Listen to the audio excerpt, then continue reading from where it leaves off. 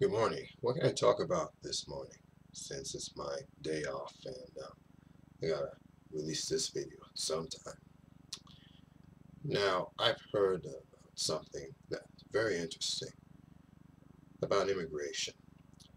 Now, as I saw in the uh, some Business Week magazine article, I didn't read it yet, but uh, I'm gonna try to give you my words on it. I just read something about it. There are more African immigrants trying to get to Europe, especially from countries in North Africa and some Western African states too. Now, Europe, I don't know why they're taking many imm immigrants. I mean, their economies, most European countries, their economies are pretty bad. I mean, look at Spain, for instance. They are going through they're going through bankruptcy right now. And along with Greece and all the southern European states, they're in a crisis right now. I don't know why many immigrants want to go to Europe.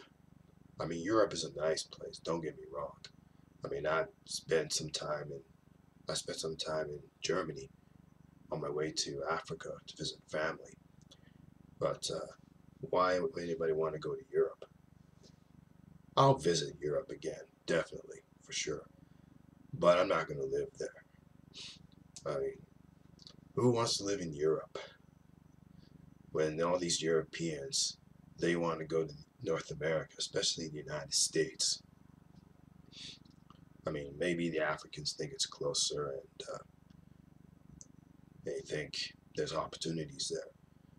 But there are not many opportunities in Europe and plus they have to deal with the racism that's uh, there. That's in Europe. That takes place in Europe. Everybody says racism and white supremacy comes from the United States but it all originated all this this uh, ideology originated in Europe first particularly in the UK Britain Great Britain. That's where racism originated from Great Britain white supremacy originated from Britain too. But uh, the Americans, the U.S., took it to the next level using violence and hate groups that are planted there. So, I mean, it's Europe, there's racism there, but it's more covert. Similar to Canada, it's more covert here than it is in the United States although U.S. is catching up with covert actions, but not as much as it is here and in, and in Europe. I lived here in Canada for so long, and the, racism here is covert. I mean, sure you get the piece of the pie, economic pie, but um, most times you don't get to the very top, and that's where the real racism takes place, at the top of the uh, economic uh, food chain. I mean, sure you get, sure you get money, but uh, any sort of status or upward mobility, you don't get that in Europe and in Canada.